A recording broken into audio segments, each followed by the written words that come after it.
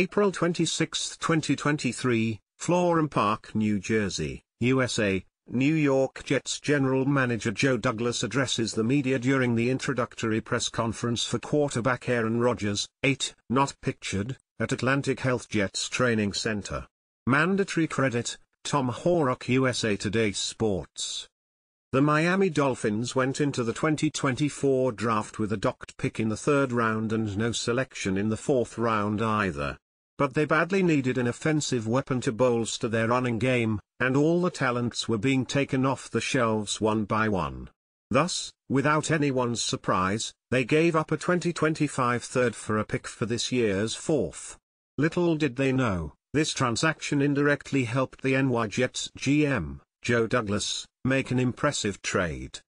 During his recent appearance on the official Jets podcast, General Manager Joe Douglas dove deep into how the swap of picks materialized on the final day of the draft. He labeled the entire thing unique, as just a few minutes prior, the Eagles had given up their fourth round pick for next year's third. And he wondered if someone would offer his Jets a similar trade, even expressing the same sentiment to his draft room. To his surprise, just five minutes later, the Detroit Lions reached out to the Green Gang, asking for a similar trade.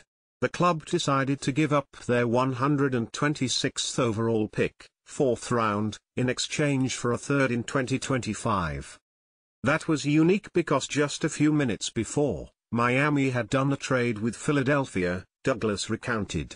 A few minutes passed, I look over to our draft room, and I was like, man, I wish someone would call and offer us something like that. And lo and behold, five minutes later, Detroit calls, and they made a similar offer. As per Paul Andrew Weston Jr. on X, the new and improved Jets currently boast two third-round and two sixth-round picks for next year's draft. Given the team's noteworthy additions during free agency, these moves were somewhat expected. The New York Jets, who are currently in the longest playoff drought in the league, have left no stone unturned to bolster their roster. Or, at least, the offensive side of the ball. Out of their seven picks, the club went on to select five offensive weapons, including QB Jordan Travis in the fifth round.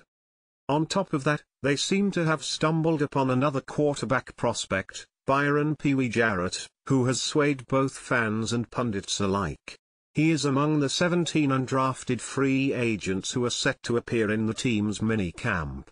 Interestingly, Rich Cimini of ESPN has already thrown his weight behind the former UCF QB, who has tallied 65 touchdowns in the past two years. In a league so grand, it wouldn't be much of a surprise if Jarrett, nicknamed Pee Wee, can find a spot in the 53-man roster. It would sure be a big break for the star prospect, who even contemplated hanging up his cleats and pursuing other opportunities due to a lack of interest from reputable colleges, as per Sports Illustrated.